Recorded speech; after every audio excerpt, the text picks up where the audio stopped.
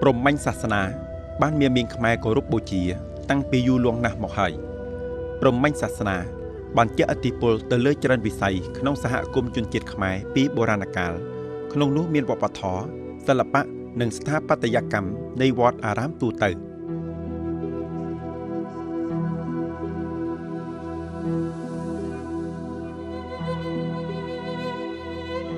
ឆ្លងកាត់ចរន្តដំណាក់កាលអភិវឌ្ឍមានមានខ្មែរ បានផ្លាស់ប្ដូរទស្សនៈអំពីជំនឿនិងការគោរពបូជា ហើយជំនឿទាំងនោះក៏បានបន្សល់ទុកនៅពិធីកិច្ចសែនព្រេនជាច្រើននិងទំនៀមទម្លាប់ដ៏សម្បូរបែបនៅតាមភូមិស្រុក រហូតមកដល់សប្តាហ៍ថ្ងៃនេះផងដែរ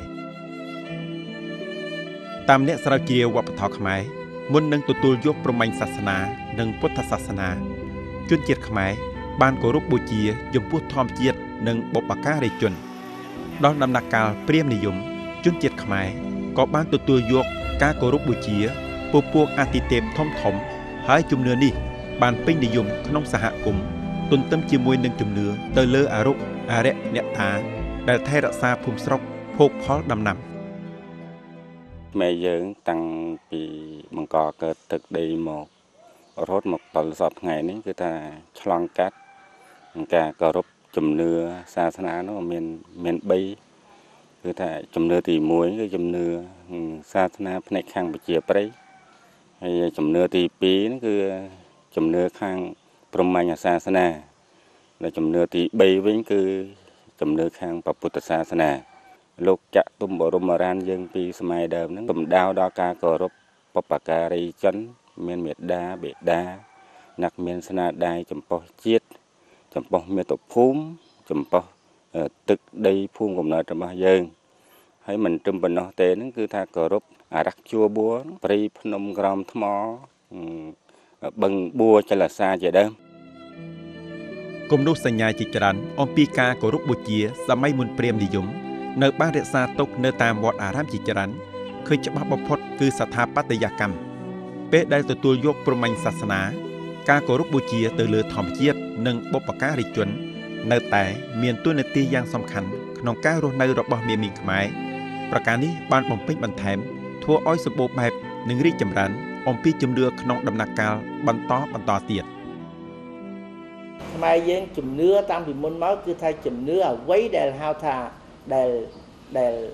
យើងជាពលឹងប្រលេះអីគឺថាជាដូនជាតាណាគេគោរពពលឹងហ្នឹងពលឹងនឹងដើម្បីជួយថែរក្សាកូនចៅខាងក្រោយនឹងបានថាគេឲ្យឈ្មោះ ពលឹងពលះនឹងហៅថាអ្នកតាហៅថាអ្នកតានឹងមកពីជីដូនជីតាហៅថាអ្នកដូនអ្នកតាដូច្នេះគឺថាខ្មែរយើងបើចោលទំនៀមមកដូច្នេះគឺថាយើងគោរពយើងចង់កសាងភូមិកអីស្អីក៏ដោយគឺថាត្រូវតែត្រូវតែសែនអ្នកតាអើត្រូវតែធ្វើតែអ្នកតាស្លាកស្នាមស្ថាបត្យកម្មពីចំនួនដើមដែលរកឃើញនៅតាមវត្តខ្មែរបានសរបញ្ជាក់ឲ្យឃើញច្បាស់នៅភាពរីកចម្រើនរបស់ព្រហ្មញ្ញសាសនា ក្នុងជីវភាពរស់នៅរបស់មាសមីងខ្មែរឆ្នាំនេះអាយុ92ឆ្នាំលោកតាថៃសុកជាអ្នកបានផ្សារភ្ជាប់ការងារក្នុងវត្តកញ្ចុងភ្នំពេញយូរឆ្នាំតាមរយៈនោះលោកតាយល់បានមួយចំណែកនៃការគោរពបូជាព្រហ្មញ្ញសាសនារបស់មនុស្សចំនួនដើមរឿងប្រែសូននឹងខ្ញុំអឺចាប់ដើមមនោវត្តការយក5ឆ្នាំមកពុកខ្ញុំជួយមនោវត្តហ្នឹងតែឃើញលៀងប្រែសូននឹងទៅទំនងមកហើយនោះមានប្រតាំង មួយទៀតគឺថាមានប្រព្រំប្រែសូប្រាណរេខោប្រតាំងហ្នឹងត្រូវចោលលួចបានទៅហើយបាទហើយប្រតាំងនោះមានអក្សរសង្ស្ក្រឹតណាលឹងជានិមិត្តរូបនៃការគោរពបូជាព្រះសិវៈដែលជាព្រះអាទិទេពមួយអង្គក្នុងចំណោមព្រះអាទិទេពធំធំទាំង3អង្គក្នុងព្រហ្មញ្ញសាសនា តាមទ្រឹស្ដីព្រហ្មញ្ញសាសនាព្រះសិវៈជាអាទិទេពបង្កើតលោក និងបំផ្លាញលោកឲ្យវិនាសផងដែរមាសមីងខ្មែរ តែងឆ្លាក់លឹងតាមច្រើនរូបសន្តាន ដើម្បីធ្វើជានិមិត្តរូបក្នុងការជំនឿទម្រង់លឹងមាន3ចំណែករួមមាន ចំណែកខាងលើមូល ចំណែកកណ្ដាលមាន8ជ្រុង និងចំណែកខាងក្រោមមាន4ជ្រុងបានរក្សាទុកគឺជាអនុស្សាវរីយ៍មានប្រកំណត់វត្តរបស់យើងពីដើមហ្នឹងចាស់ទុំក៏បានកសាងពីព្រោះយើងការពុទ្ធសាសនាសពថ្ងៃហ្នឹងមានចម្រុះដោយព្រហ្មញ្ញសាសនា ដូចជាមហាសង្ក្រានអញ្ចឹង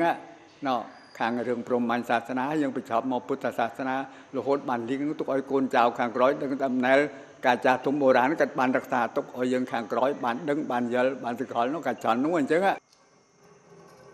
ការប្រទះឃើញបណ្ដាផ្ទាំងថ្មបុរាណនៅវត្តតបថ្ម នៅខេត្តត្រវិញបានរួមចំណែកធ្វើឲ្យចេះច្បាស់បន្ថែមទៀតអំពីការជំនឿប្រមិញសាសនានៅតាមវត្តខ្មែរ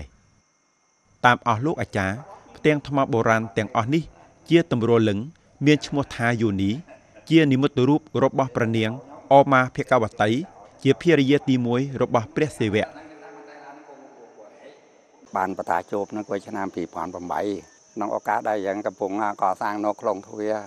ចាហើយដល់ហើយដល់អាម៉ាស៊ីនកោះដីហ្នឹងបានកោះទៅជួបយ៉ាងហើយយើងឃើញនៅផ្ដើមបានញឹកបែរនឹកឃើញថាកាលហ្នឹងគឺថាកំណើតដើមរបស់ខ្មែរយើងគឺគោរពទៅហៅថាប្រមាញ់សាសនា អ្នកកាន់ប្រមាញ់សាសនាមានជំនឿថាសពសត្វក្នុងលោកសុទ្ធតែបានព្រះសិវៈនិងព្រះនាងអមាភិកវតីបង្កើតទាំងអស់ទីឋានដែលដាក់តាំងលឹងនឹងយូនីគឺជាកន្លែងដែលអ្នកកាន់សាសនាបរិបពិធីសេវរាត្រី ជាពិធីលាងបាបលាងឧបទ្រពចង្រៃគ្រប់យ៉ាង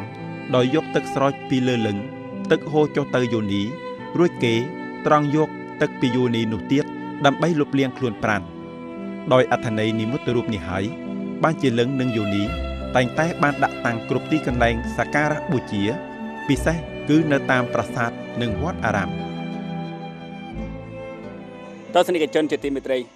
សប្តាហ៍ថ្ងៃវត្តខ្មែរទើទាំងអស់គឺបានកសាងឡើងដើម្បីគោរពបូជា ពុទ្ធសាសនាប៉ុន្តែនៅមានវត្តមួយចំនួន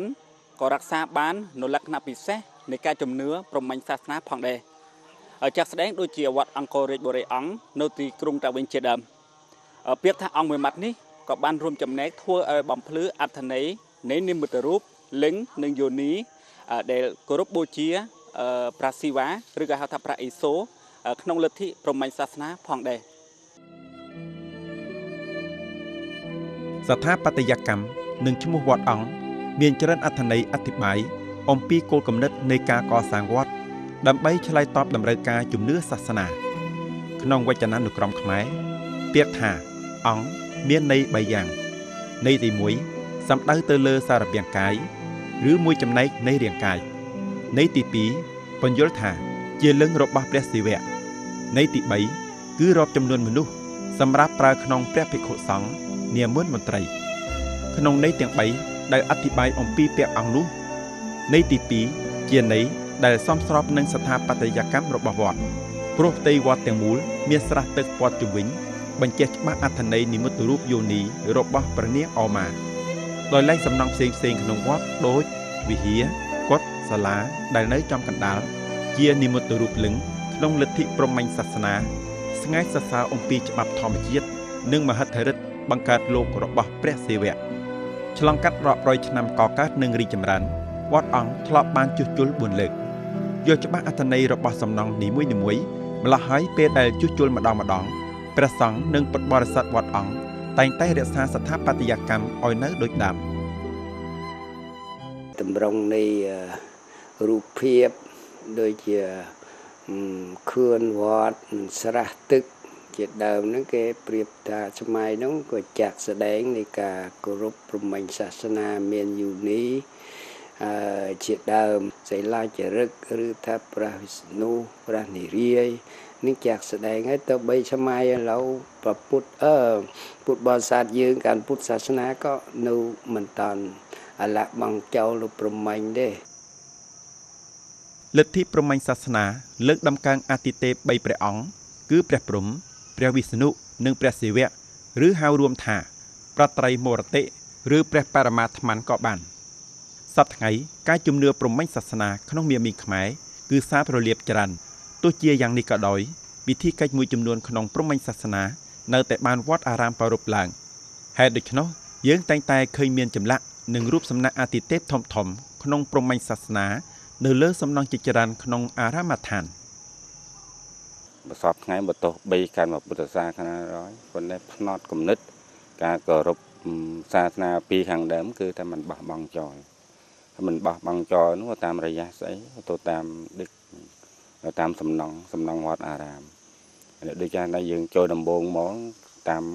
ស្ទើរទូតាំងវត្តមាន សំណាក់គ្រូប្រព្រំប្រព្រំគឺជាសិវៈចម្បងមកអស់របស់ទេវៈទាំង3ហ្នឹងប្រព្រំគឺថាតម្កល់ទៅតាមប្រាលើខឿនប្រាវិហារនេះជាសធោបជាចេតដេងតែតែមានមុខព្រំទាំង4អស់ នេះជារូបចម្លាក់ព្រះវិស្ណុឬព្រះនារាយណ៍ដែលបានរក្សាទុកក្នុងវត្តសំរោងឯកទីក្រុងត្រវិញព្រះវិស្ណុបានរចនាដោយប្រភពពណ៌បៃតង មានប្រហោះ4កាន់កេតនភ័ណ្ឌ4គឺខ្យងសាំងផែនដី ដំបងនិងកងចក្រតាមក្បួនខ្លះថាព្រះវិស្ណុមានដៃ8ដែលកាន់បន្ថែមធ្នូដាវផ្កាឈូកព្រះវិស្ណុមានភរិយាឈ្មោះថានាងកាលី នាងកាលី បានរិះរោបវិធីមិនអោយជាតិពុលជ្រាបចូលសារពាង្គកាយព្រះវិស្ណុក្នុងគ្រាដែលព្រះអង្គខំលេបជាតិពុលដែលនាងវាសុគីខ្ចាស់ចេញដោយត្រូវពួកអសុរៈនិងទេវតាចាប់ទាញដើម្បីកោសមុទ្រទឹកដោះទង្វើនេះបានមានមានខ្មែរយកជាតម្រាប់ហើយគោរពបូជាព្រះនាងកាលីពលគឺនាងខ្មៅឬយាយខ្មៅវត្តអារាមមួយចំនួន នៅថែរក្សាពិធីកិច្ចបូជាយាយខ្មៅ ឬនាងខ្មៅរហូតមកដល់សប្តាហ៍ថ្ងៃក្រៅពីនោះព្រះវិស្ណុនៅមានអវតារជាច្រើនទៀតគឺគម្ពីរខ្លះថាព្រះវិស្ណុមានអវតារ10ខ្លះថាព្រះវិស្ណុមានអវតារ11ចែកចេញជា3ប្រភេទគឺមនុស្សសត្វពះកណ្ដាលមនុស្សពះកណ្ដាលសត្វក្នុងនោះមានអវតារជាសត្វអណ្ដើកត្រីជ្រូកព្រៃជាដើម